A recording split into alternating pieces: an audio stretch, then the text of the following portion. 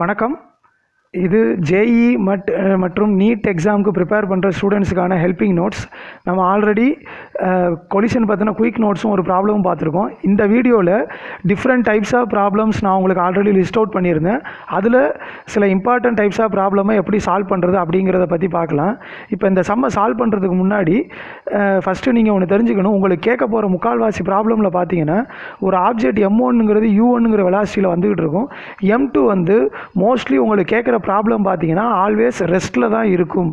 அதுவும் மெயினாக NEET exam கேட்குற எல்லா கொஸ்டின்லையுமே பார்த்தீங்கன்னா செகண்ட் பாடி வந்து ரெஸ்ட்டில் இருக்கிற மாதிரி தான் கேட்பாங்க. அப்போ ஆஃப்டர் கொலிஷன் வந்து என்ன ஆகும் அப்படின்னா எம் ஒன் வி ஒன்னுங்கிற விளாசியில் போகும். எம் டூ வி டூங்கிற விளாசியில் போகும். இப்படி இருக்கிறப்ப வி ஒன் வி டூவை நம்ம எப்படி கண்டுபிடிக்கிறது? இதை நான் ஆல்ரெடி உங்களுக்கு போன வீடியோலேயே சொல்லியிருந்தேன். வி ஒன் வி டூ எப்படி கண்டுபிடிக்கணுங்கிறது இப்போ வி ஒன் கண்டுபிடிக்கணும் அப்படின்னா நான் ஈஸியாக ஒரு டெக்னிக் சொல்லியிருந்தேன். இது யூ ஒன் ப்ளஸ் இது என்னது? யூ டூ இதே வி டூ வேணும் அப்படின்னா இந்த இடத்துல என்ன பண்ணிக்கிறீங்க? யூ டூ ப்ளஸ் இந்த இடத்துல ஒரு ப்ராக்கெட் இந்த இடத்துல யூ ஒன் போட்டுங்க. இது எலாஸ்டிக் கொலிஷனாக இருந்தால் இங்கே என்ன பண்ணிக்கணும்? இது வி ஒன்னுனா இங்கே m one minus m two அப்படின்னு போட்டுக்கணும். இந்த இடத்துல m two minus m one இந்த இடத்துல வந்து இந்த இடத்துல யூ டூ இருக்கிறதுனால டூ எம் டூ இங்கே வந்து என்னது? டூ எம் ஒன் பை டினாமினேட்டரில் m one plus m two இங்கேயும் டினாமினேட்டரில் m one plus m two m one plus m two m one plus m two நான் உங்களுக்கு முதல்ல சொல்லியிருக்கேன். எப்போதுமே செகண்ட் ஆப்ஜெக்டோட வெலாசிட்டி வந்து இனிஷியலாக என்னென்னு தான் கொடுப்பாங்க. ஜீரோன்னு தான் கொடுப்பாங்க. அப்படி இருக்கிறப்ப வி ஒன் என்னவா மாறும்? இந்த யூ டூ எல்லாம் என்ன ஆயிரும்? ஜீரோ ஆயிருமா? இங்கேயும் யூ டூ என்ன ஆயிரும்? ஜீரோ ஆயிரும். அப்போ ரிமைனிங் இருக்கிறது என்ன இருக்கும்? M one minus m two by m one plus m two u one vector அதே v two is equal to என்ன வரும்? Two m one by m one plus m two u one vector அவ்வளோதான் இதை மட்டும் நீங்கள் ஞாபகம் வச்சுக்கிட்டே இருந்தீங்கன்னா போதும். இப்போ இருக்கிற முக்கால்வாசி டைப் ஆஃப் ப்ராப்ளம் நீங்கள் போட்டுடலாம். இப்போ அந்த டைப் ஆஃப் ப்ராப்ளமை பார்க்கலாம். இப்போ இங்கே பாருங்கள் first type of problem kinetic energy retained by the first body after collision அப்போ ஒரு ஃபஸ்ட்டு பாடி வந்து என்ன ஆகுது. மூவ் ஆகுது கொலைட் ஆனதுக்கப்புறம் இதில் வந்து இனிஷியலாக இருந்த கைனட்டிக் எனர்ஜியில் இது எவ்வளோ ரீடைன் பண்ணியிருக்கு அப்படிங்கிறத பார்க்கணும். இப்போ ஆஃப்டர் கொலிஷனை வந்து நான் என்னென்னு வச்சுக்கிறேன்னா kinetic energy after collision the first body என்னென்னு வச்சுக்கிறேன். Half m one v one ஸ்கொயர்னு வச்சுக்கிறேன். இப்போ வி ஒன் இப்போ தான் கொஞ்சம் நேரத்துக்கு முன்னாடி கண்டுபிடிச்சேன். என்னது? M one minus m two by m one plus m two u one அப்போ கைனட்டிக் எனர்ஜி ரீடைன்டு இப்போ இதில் தூக்கி சப்ஸ்டியூட் பண்ணிங்கன்னா போதும். Half m one m one minus m two whole square u one square சிம்பிளாக இப்போ இதில் இதை அப்படியே கொஞ்சம் நான் மாற்றி எழுதுனேன்னா kinetic energy retained is equal to half m one u one ஸ்கொயரா இங்கே half m one u one ஸ்கொயருங்கிறது என்னது? கைனட்டிக் எனர்ஜி இனிஷியலாக இது வந்து என்னது? கைனட்டிக் எனர்ஜி இனிஷியல் நான் அந்த சஃபிக்ஸில் ஐன்னு போட்டுக்கிறேன். Kinetic energy initial m one minus m two by m one plus m two whole square இப்படி தான் எழுதணும். இதே ஃப்ராக்ஷன் ஃப்ராக்ஷன் ரீடைன்டுன்னு கேட்டாங்கன்னு வச்சிங்களேன். என்ன பண்ணிக்கிறீங்கன்னா kinetic energy retained by kinetic energy initial அப்படிங்கிறது மட்டும் போட்டுங்க சரிங்களா? அப்போ என்ன ஆகும்? Kinetic energy retain by kinetic energy இனிஷியலுங்கிறது என்னது? M one minus m two by m one plus m two whole square அவங்க டேரெக்டாக சில கொஸ்டினை கொடுத்து kinetic energy fraction kinetic energy retain by the first பாடின்னு மட்டும் கேட்பாங்க. ஜஸ்ட் இந்த ஃபார்முலாவை மட்டும் நீங்கள் சப்ஸ்டியூட் பண்ணிங்கனாலே போதும். உங்களுக்கு within the one minute time உங்களுக்கு ஆன்சர் கிடச்சிடும். இல்லை உங்களுக்கு மறந்துருச்சுன்னா இந்த மாதிரி நீங்கள் சால்வ் பண்ண கற்றுக்குங்க அவ்வளோதான் இப்போ செகண்ட் டைப் ஆஃப் ப்ராப்ளம் என்னென்னா kinetic energy of second body after collision இது ஃபஸ்ட்டு பாடி இது செகண்ட் பாடி அப்போ என்ன பண்ணணும்? கைனட்டிக் எனர்ஜி டூன்னு வச்சுங்க. Half m two v two square அதே மாதிரி வி டூ எப்படி கண்டுபிடிக்கணும்னு சொல்லியிருந்தேன். அப்போ two m one by m one plus m two u one இதை சப்ஸ்டியூட் பண்ணிங்க. அப்போ kinetic energy of second body after collision இந்த மாதிரி வந்துருமா? இப்போ இதில் இந்த எம் ஒன்னை மட்டும் என்ன பண்ணிக்கிறீங்க? தனியாக எடுத்துக்கங்க. தனியாக எடுத்துக்கிட்டீங்க அப்படின்னா கைனட்டிக் எனர்ஜி ஆஃப் டூ என்ன வரும்? ஆஃப் இந்த எம் ஒன்னை நான் வெளியில் எடுத்துக்கிறேன். இந்த யூ ஒன் ஸ்கொயர் அப்படியே வச்சுக்கிட்டு எம் டூவை உள்ளே கொண்டு போயிடுறேன். அப்போ உள்ளே கொண்டு போனால் இது ஸ்கொயர் தானே? அப்போ டூ ஸ்கொயர் எவ்வளவு? ஃபோர் எம் ஃபோர் இந்த எம் ஒன்னில் ஒரு எம் ஒன்னை மட்டும் நான் வெளியில் எடுத்துக்கிட்டேன். அதான் இந்த மாதிரி. Half m two four m one m one by m one plus m two whole square into u one ஸ்கொயரா இதில் half m one u one ஸ்கொயரை மட்டும் வெளியில் எடுத்துக்கிட்டோம்னா ரிமைனிங் என்ன இருக்கும்? Four m one m two by m one plus m two whole square இருக்குமா? இதுதான் kinetic energy of the second body after collision இதே half m one u one ஸ்கொயருங்கிறது எனது கைனட்டிக் எனர்ஜி இனிஷியல் தானே? ஏன்னா இது வந்து ஜீரோவாக இருக்குது அப்போ kinetic energy of initial of total system அப்போ கைனட்டிக் எனர்ஜி டிரான்ஸ்ஃபர்டு இது வந்து ஃபஸ்ட்டு பாடியிலேருந்து செகண்ட் பாடிக்கு ட்ரான்ஸ்ஃபர் தானே ஆயிருக்கு.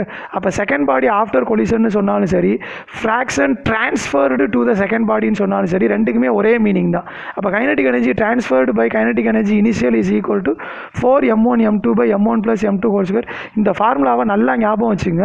இதே ஃபார்முலாவை நியூக்ளியர் ஃபிசிக்ஸில் அடிக்கடி நம்ம யூஸ் பண்ணுவோம். அப்போ இந்த ஃபார்முலா நீங்கள் ஞாபகம் வச்சுக்க வேண்டியது என்னது? Kinetic energy transfer four m one m two by m one plus m two whole square அதாவது நியூக்ளியர் ரியாக்டரில் ஒரு ப்ரொஜெக்டைல் போயிட்டு ஒரு நியூக்ளியஸில் ஹிட் ஆனிச்சுன்னா அது அதில் எவ்வளோ எனர்ஜி ட்ரான்ஸ்ஃபர் ஆகிருக்கு அப்படிங்கிறத கேட்குற மாதிரி ரிலேட்டடாக இந்த சம்மில் அதிகமாக இந்த ரிலே ஃபார்முலா ரிலேட்டடாக கேட்பாங்க. நல்லா ஞாபகம் வச்சுக்கோங்க. இப்போ அடுத்து ஃபோர்த் டைப் ஆஃப் ப்ராப்ளம் பார்த்தீங்கன்னா fraction of momentum retained by the first body அப்போ momentum retained by the first body அப்படிங்கிறப்ப பி ஒன் ஆஃப்டர் கொலிஷன் அதை வந்து மொமெண்டம் ஃபார்முலா என்ன? M one v one v ஒன்னுக்கு எப்படி கண்டுபிடிக்கிறதுங்கிற ஃபார்முலா நம்ம ஆல்ரெடி பார்த்தோம். அப்போ மொமெண்டம் இனிஷ் அதாவது momentum after collision momentum initial அப்போ மொமெண்டம் இனிஷியல் அப்படின்னாலே என்னது? P i is equal to m one u one தானே. ஏன்னா ஃபஸ்ட் பாடி மட்டும்தானே மூவ் ஆகிக்கிட்டு இருந்தது. அதாவது இங்கே மாதிரி ஃபஸ்ட்டு பாடி மட்டும்தான் என்ன ஆகிட்டு இருக்கும் மூவ் ஆகிக்கிட்டு இருக்கும் செகண்ட் பாடி என்னவாக இருக்கும்? ரெஸ்ட்டில் தானே இருக்கும். அப்போ இதோட கைனட் மொமெண்டம் இனிஷியல் என்னது? எம் ஒன் யூ ஒன் சரியா? அப்போ எம் ஒன் யூ ஒன் இந்த பக்கம் கொண்டு வந்தீங்கன்னா அதான் p one is p initial is equal to m one u one அப்போ இது எந்த பக்கம் கொண்டு வந்தீங்கன்னா p one by p i is equal to என்ன? M one minus m two by m one plus m two இதுவும் ஒரு formula தான். இதை நீங்கள் நிறையா டைப் ஆஃப் ப்ராப்ளம்க்கு யூஸ் பண்ணிக்கலாம். அடுத்த டைப் ஆஃப் ப்ராப்ளம் எப்படி கேட்கலாம்னா fraction of momentum transferred from first body to second body அப்போ ட்ரான்ஸ்ஃபர்னா what is the momentum of the second பாடின்னு கண்டுபிடிச்சா போதும். P two is equal to m two v two அப்போ we டூக்கான formula அதில் substitute பண்ணுங்கள் கடைசி ஈஸியாக இந்த மாதிரி கிடைக்கும். P two is equal to m one u one two m two by m one plus m two அப்போ p two by p initial fraction எவ்வளவு? Two m two by m one plus m two இந்த ஃபார்முலாவும் nuclear ஃபிசிக்ஸுக்கு அடிக்கடி கேட்கக்கூடிய formula இதையும் நல்லா ஞாபகம் வச்சுங்க. அடுத்து very very most important problem in your collision chapter இதில் அடிக்கடி கேட்குற ப்ராப்ளம் எதுன்னு பார்த்தீங்கன்னா loss of kinetic energy of the system இது வந்து மோஸ்ட்டாக எங்கே தான் வரும்? இன்னலாஸ்டிக் கொலிஷனில் மட்டும்தான் வரும். இன்னலாஸ்டிக் ஆர் பர்ஃபெக்ட்லி இன்னலாஸ்டிக் அதுக்கு நீங்கள் உட்காந்து டிரைவெல்லாம் பண்ணாதீங்க. நான் சொல்கிற அந்த ஜென்ரல் ஃபார்முலாவை ஞாபகம் வச்சுங்க.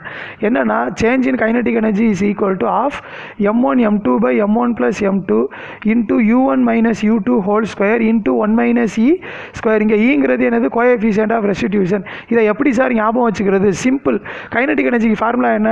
Kinetic energy is equal to half m v square தானே சொல்லுவீங்க. இங்கே எம்முக்கு பதிலாக நீங்கள் என்னென்னு வச்சுக்கிறீங்கன்னா ரெடியூஸ்டு மாஸ்னு ஞாபகம் வச்சுக்கோங்க. ரெடியூஸ்டு மாஸுக்கான ஃபார்முலா என்ன தெரியுமா? மியூன்னு சொல்லுவாங்க. ரெடியூஸ்டு மாஸ் அப்படின்னா அதாவது m one m two by m one plus m two இதுதான் ரெடியூஸ்டு மாஸ் அப்படின்னு சொல்லுவாங்க. ரெடியூஸ்டு மாஸ்னால் என்னங்கிறத நான் இன்னொரு வீடியோவில் போடுறேன்.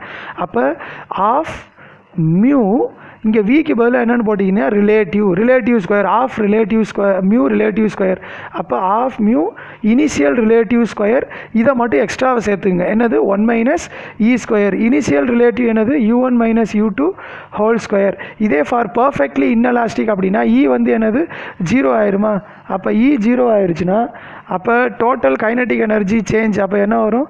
Of M one M two by M one plus M two இங்கே வந்து என்னென்னு வரும்னா U one minus U two whole ஸ்கொயர்னு வரும். இதுவே வந்து U one minus U two whole square இதுவே வந்து if two bodies approaching each other then loss in kinetic energy வந்து என்னவாக இருக்கும்? மேக்ஸிமமாக இருக்கும். அதாவது ரெண்டு பாடி இப்படி ஒரு பாடி வருது இப்படி ஒரு பாடி வருது.